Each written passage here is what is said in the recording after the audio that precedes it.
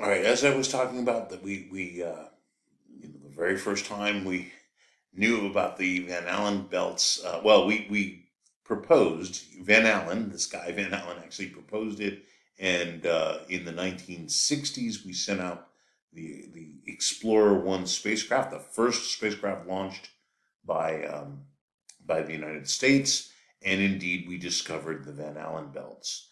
Um, that, that, that they are really there. Uh, now, now here's so here's what happens with the um, you know you have these charged particles that come from the sun all the time, mostly electrons and protons.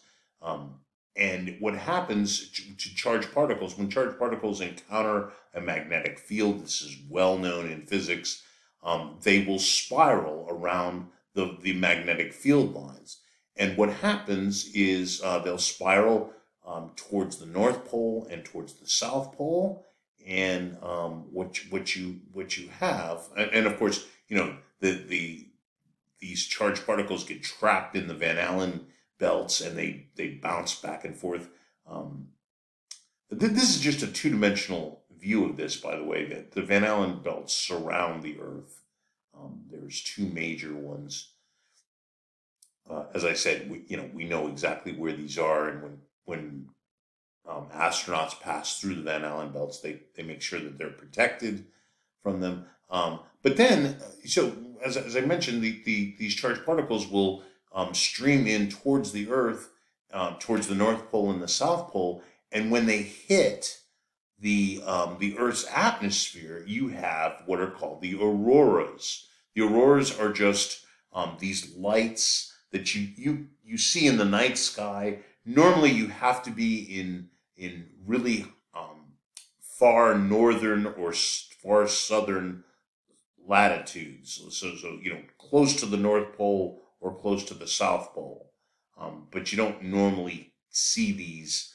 Um, certainly not from South Carolina. That that's a pretty rare thing um, to see these from South Carolina. You you might have seen them, but um, you have to have extreme like an extreme um, magnetic, oh, sorry, an extreme storm um, on the on the surface of the sun, and, and you have the extra charged particles coming in and and hitting um, the, the the Earth's magnetic field uh, for for that to be seen as far south as South Carolina. Um, all right, uh, no, normally, like if you're in you know um, Upper Canada or Alaska, um, it's pretty easy to see the the uh, auroras, or you know, like Norway or something like that. Um, all right, so uh, now, now we're going to turn to the Earth's atmosphere. Of course, the Earth is surrounded by this this wonderful uh, blanket, if you will. You can kind of think of it as a blanket. That's a, actually a good way to think about it. Um, it is. Uh, we're not the only planet, of course, to have an atmosphere. Mars has one. Uh, Venus has one. We'll get to those atmospheres a little bit later. Um, and, and the, the, the, atmosphere goes up, um, you know, hundreds of kilometers. Um, you know, it's it's a good way to think about it. It's it's roughly hundred miles to to get to where space, where you'd be cons- consider it space. All right, so um, there's the part that we live in is called the troposphere. Right, so, so that's that's and then above that is the stratosphere. There's actually other names. So every, every time here, let's so watch. If you have, if you're in the in the troposphere, um, as you go higher and higher, the temperature goes go goes um, down. Right, the temperature gets it gets colder and colder and colder. Right, but then when you get um, when you get into the stratosphere, something interesting happens um, where the the, uh, the, the temperature um, you know it starts to get warmer again, right? And that's that's in this region of the of the stratosphere, a very important region called the ozone layer. Ozone is um, it's you know what we breathe down here in the troposphere uh, is the O2 molecules, two two oxygen atoms that are chemically bound together. Um, far above us in the stratosphere in this region it's called the, the you know the ozone layer there's actually three oxygens that are bound together chemically, um, and in that region, so so you know the the um, the the temperature goes up, goes up, goes up. Um, one I I forget. You could look this up if you want, if you're really interested. Um, but there, there's a thing. I think it's called the mesosphere, and then and then notice it, it only only a certain it only goes up to a certain temperature, and then it starts to fall again, and then you get um, you know you, you then it also then it starts to go up again. Um, uh, be, you know, because you're you're the the upper parts of the atmosphere. Um, all right, so so so this is each of these turning points of for the temperature is actually has a different name. All right, so um, I forget which one is the mesosphere and the oh man, there's yeah they, they have different names. Um, all right, so so remember this is a this is a class on astronomy, not not meteorology. But uh, and notice the auroras are occurring way up in the upper upper parts of the atmosphere, where you know most most of the uh, you know most of the atmosphere is well below that. All right, so this is a good this is a good rule of thumb here. So um, half the mass of the atmosphere is within four kilometers of, of the surface. Um, the Earth's atmosphere is primarily made of nit- nitrogen, um, and it's it's not just a it's not just a single nitrogen atom. There's actually two nitrogens that are bound together. Um, that that's when we talk about nitrogen. That's you, take a breath of air. You're breathing in a whole bunch of nitrogen. Um, you know, seventy six. Sorry, seventy eight percent is is what you know. About twenty one percent is the oxygen, and of course that that's the O2 molecule that that is is necessary for um, you know pretty much anything but plants. Um, all right, uh, you know all animals of course need need oxygen. Um, the remaining gas uh, is roughly one percent. Uh, you're going to get carbon dioxide.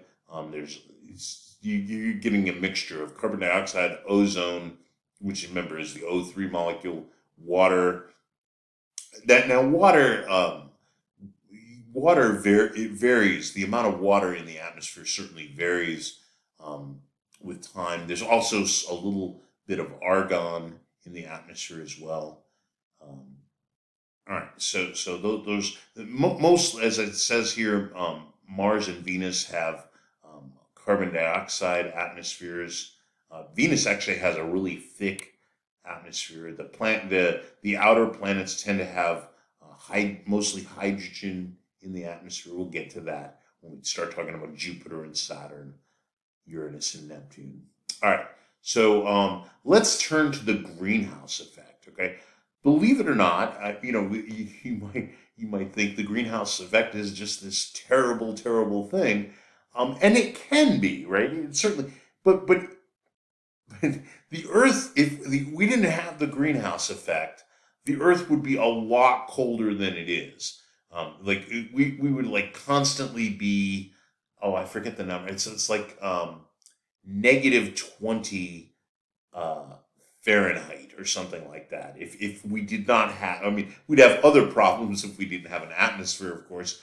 But um, you know, of course, we have an atmosphere, and the atmosphere traps some of the radiation that comes to us from the sun. All right. So, so let, let me just explain how, a, let's see, does it show it? No. Uh, a greenhouse. Okay. So how does a greenhouse work? Um, or here's, here's a good example of the greenhouse effect. Uh, you know, you go out to your car on a hot summer's day, right? Um, and the car's sitting in some parking lot that's that's you know not it's not in the shade. It's sitting out there in the sunlight. And, you know, I'm sure you've all experienced this uh, in the middle of the summer. You open that car door and it's a lot hotter in the car than it is, um, you know, in the atmosphere. You know, and it could be like 95 degrees on a summer's day. but, but you step into that car and you're talking about like, you know, it, it can actually go up to like 130 um, and even a little bit higher sometimes, depending on you know how, how much how much uh, how many windows you have in the car. But but uh, see what's what's going on is visible light can pass through the through the windows of the car, and then the um, infrared. Let's see, where's it represented? So that that's that's represented by this the, the red the, these red squiggly lines. That's supposed to be the infrared light. Um, the infrared, like in a car, cannot pass does, does not easily. Let, let me put it that way. It does not easily pass through the light, right? In fact, that's why we that's how we use greenhouses, right? In in the middle of the winter, you can have a green, uh, you know, this this enclosure with with glass on it, it lets in the light, but it it the infrared light will bounce around. It doesn't it doesn't leave it doesn't leave so easily. Um, the, it doesn't pass through the glass very easily, and so the infrared light bounces around a little bit, a little bit more, you know, well, a lot actually, um, in, a greenhouse. All right, so so for, for the Earth, the greenhouse effect is is the the, the Earth's atmosphere. And there's two primary gases in the atmosphere that cause the greenhouse effect. One, of course, is well. Let me let me start with the most important one: um, water. Okay, uh, you know, you don't hear people talking about that very often, but water is is the is the one of the the, the strongest greenhouse gases that there are. When it, when it's water vapor, it blocks the infrared radiation from escaping back, back into space, but also carbon dioxide, right? So carbon dioxide does that. Now, what the thing about water is that there's a natural water cycle on the earth, right? Where, where the water builds up, it gets into the clouds, and eventually it rains, and so the water comes down from the atmosphere. Um, it doesn't exactly do that with the with carbon dioxide. Of course, plants use carbon dioxide, which is wonderful um, in, in the photosynthesis in, in photosynthesis, but humans have been putting more and more, you know, every time we burn fossil fuel, coal, oil, natural gas, uh, we we one of the byproducts is carbon dioxide, and so if you if you, if you take a look at this, okay, this is the this is the whole idea about global warming and climate change, right? So if you look, um, I mean, this is this is not. Unfortunately, this has become political, and I don't know why. Um, because this is indisputable evidence. Um, if you look back during during the, the, the time, even even before this, we have data on um, you know uh, um, pre-industrialization, right? So pre-industrialization, once once humans start to industrialize, um, the amount of carbon dioxide goes up, up, up, up, up, in the atmosphere, and and it you know notice in the in you know starting in the 1960s, 80s, and 2000s, and it just keeps going up more and more and more, right? Um, and so the, the natural processes, which are is takes you know plants and the ocean even the, the algae in the ocean takes some of the carbon dioxide away but there's we're pumping so much carbon dioxide humans are causing this thing called global warming over time. I mean, the, the, the temperature of the planet Earth is increasing um, over time. And, and that's going to cause, all you know, we, we know what's going to happen. Um, now, now, the Earth naturally goes through cycles, um, but but this this is this is a human, you know, this is from the Industrial Revolution onward.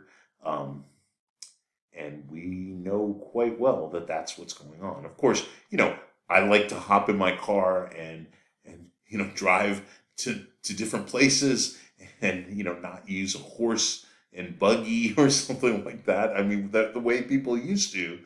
Um, and uh, that's it, it's unfortunate because the, the cars and and uh, well, cars are a huge source of, of carbon dioxide going into the atmosphere as well. Um, all right, so anyhow, the ozone layer um, is the, the it actually uh, protects us. The O three molecules protect us from ultraviolet light. It wasn't always there.